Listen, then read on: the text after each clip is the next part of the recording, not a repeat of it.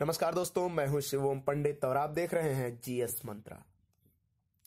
इस वीडियो में हम आपको बताएँगे प्रथम आंग्ल मैसूर युद्ध के बारे में, अंग्रेज़ों की मैसूर राज्य से पहली लड़ाई के बारे में। अंग्रेज़ों से मैसूर राज्य की चार बार लड़ाई हुई था चार आंग्ल मैसूर युद्ध हुए थे। पहला आंग्ल मैसूर युद्ध हुआ था सत्रह से सत्रह तक 1767 से 69 तक। द्वितीय आंग्ल मैसूर युद्ध हुआ था 1780 से चौरासी तक 1780 से 1784 तक। तीसरा आंग्ल मैसूर युद्ध हुआ था 1790 से 92 तक 1790 से सत्रह और चौथा आंग्ल मैसूर युद्ध हुआ 1799 1799 में।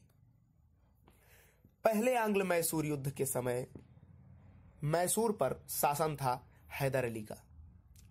हैदर अली ने अपना शुरुआती जीवन एक घुड़सवार के रूप में शुरू किया था और अपनी राजनैतिक कुशलता और कूटनैतिक सफलता दोनों के दम पर वह मैसूर का राजा बना।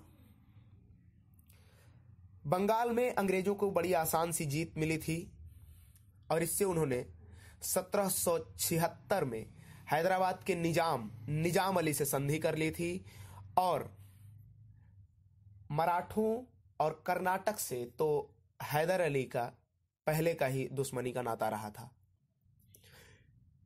अब हैदर अली ने देखा कि निज़ाम मराठा और कर्नाटक तीन के तीनों उसके खिलाफ हैं, लेकिन फिर भी वह विचलित नहीं हुआ और उसने फिर से कूटनीति से काम लिया और उसने मराठों को धन का प्रलोभन दिया और निज़ाम को प्रदेश का प्रलोभन देकर अपनी ओर मिला लिया। इस प्रकार अब निज़ाम और मराठे। दोनों हैदर अली के साथ थे और तीनों के संयुक्त मोर्चे ने कर्नाटक पर आक्रमण कर दिया। कर्नाटक पर आक्रमण उसने इनडायरेक्टली अंग्रेज़ों पर ही आक्रमण किया था, क्योंकि कर्नाटक अंग्रेज़ों का मित्र राज्य था।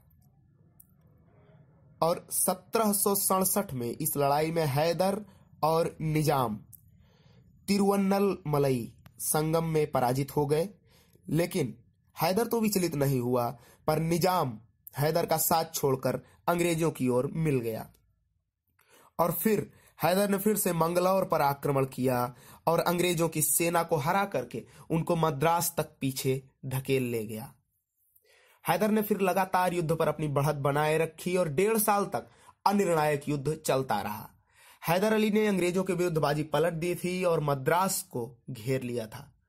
अंग्रेज़ भयभीत हो गए और उनको एक तिरस्कारपूर्ण संधि स्वीकार करनी पड़ी, जो संधि हुई थी 4 अप्रैल सत्रह सौ उनहत्तर को, फोर्थ अप्रैल 1769 को।